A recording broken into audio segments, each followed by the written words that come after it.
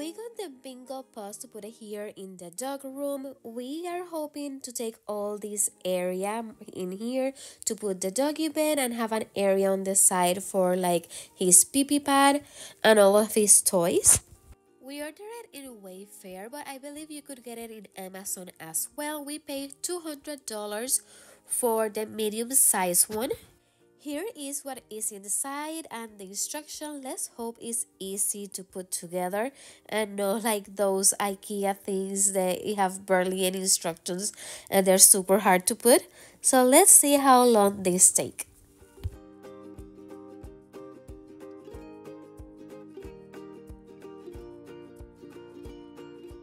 The set includes a screwdriver, but we are gonna be using our own, not the one that came with the packaging, just to be sure. The red ones are ours. The black one in the corner is the one that came with the Bingo Paw uh, playpen. The acrylic pieces, they're a lot thinner than what I was expecting. The metal part, in the other hand, they seem really well made and they have like a good feeling material but i do wish the plexiglass part the acrylic part it was thicker. It feels very flimsy and if your dog is anything bigger than bowser i don't know if it will last a long time. And i seen these things advertised for like big size dog when they have puppies for the mama and the puppies. I don't think that you could put a full grown golden retriever inside here because they feel a little flimsy. When we got Venus and Apollo, uh, the breeder, she will send me pictures and videos of them with their mama and their other puppies. And they were little savages. They will pull and they will jump, they will fight with each other, they will play fight with the mom. For sure, you cannot put a Malamute mom with the puppies in one of these because for sure it will don't last I have always loved animals. As a kid, I had guinea pigs and I had also bunnies. I think this will be the perfect enclosure if you have bunnies and guinea pigs at home. Obviously, for we had a for Bowser here, and I think for the most part it will work for him. Though I'm a little scared that he will jump out because it's a little lower than also what I thought it was gonna be and it's a lot flimsier than what I also thought. So we will see if he gets out in the future. And after one hour of hard working putting it together, here is Bowser Playpen. It looks super cute, though you could see him jumping and he jumps pretty high. I don't know if he will ever get out or not. I will keep you posted on that. However, it's a little smaller than what I was hoping. Uh, not only lower but also smaller in size. So I want to add a few more panels. You could buy extra panels on their website. And I'm gonna add a few extra panels here to I want to move the PP pad farther away from the food. I don't like it right there where it's at right now. And I also want him to have more area when he's bigger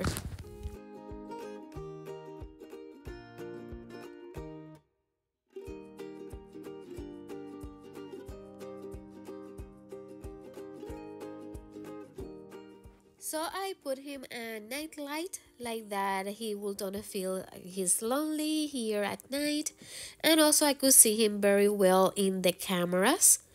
So here is the playpen, it's night night time. He did great on his first night on the playpen. He didn't cry at all. He slept all the way to 6 o'clock in the morning and now it's 6 o'clock. I'm taking him outside to pee and to go potty, give him breakfast, and then I will go back to sleep because it's way too early for me. And in case you are wondering why he sleep in the dog room in a playpen and not with us, my bed is really tall and I'm super scared that he will fall off the bed and break a leg or worst. So in the meantime, while he's still a puppy and maybe until we get a lower bed, he will sleep in the dog room. During the day, he's with me and he goes a lot out with me. I take him out to lunch and shopping. He's my shopping partner. But when he's home alone, he will be in the playpen, and to sleep, he will be in the playpen. For the most part, he goes potty outside, but the breeder had him used to, to pee on top of newspaper. So I'm trying to transition him from newspaper to the pee pee pads, to have a pee pad in the room for if we are out of the house for too many hours and he's home alone. Uh, but for the most part, I'm teaching him to go outside most of the times and just use the pee pad if I'm not home.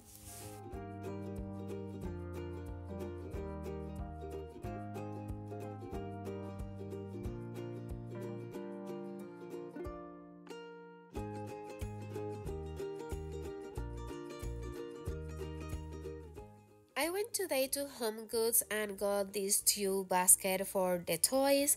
The large one for Venus and Apollo's toys, they, tend to have really big toys like this Christmas flamingo. And the smaller one for mainly the smaller toys, like kind of for Bowser, but Venus, she loves all kind of toys, so everything is Venus in reality. She's the queen of the house and everything is hers. Uh, where Venus is standing, I want to add on for the pee pad I also got here a new water and a food bowl stand with the pad on the bottom so it doesn't move when he's jumping like a crazy nut like he's here right now. Also, this make a little bit of noise because when he gets up, it's a little flimsy. So I want to see if I could find something for that. For now, I have here the pee-pee pads I have a lot of them. I had some from when Sissy was a baby and then my mother-in-law got me some. So I'm putting it there but I want to extend the area like I've so told you before to put the pee-pee pad farther away from the food and the playing area. Uh, this thing gets very dirty. We have only used it for two days and you could see all the paw prints already. So I also want to see what is the best way to clean it and keep it clean. I'm not sure about that. I'm gonna be using this glass cleaner because even if there's acrylic, I don't have anything to clean acrylic, but I think glass cleaner could do the trick. So let's hope it doesn't mess it up. If you have any suggestion of a product to clean acrylic that is pet safe, please let us know in the comments, please. It's food time and I'm giving him a little bit of cooked chicken with broccoli, carrots, and a little bit of his dog food. Like you can see, I move his food bowl to the other side because he jumps a lot from this side, especially when we open the door and he first sees us. He jumps there and then he put his paws inside the water. So when I extend this area here for the pee pee pad, he's going to have a lot of more area and it's not going to look so cramped like it look right now. They look super, super cramped. And have in mind that he's a very small dog. So if you have a big dog, for sure you should get more panels. I'm pretty sure we are gonna keep changing the setup here and there.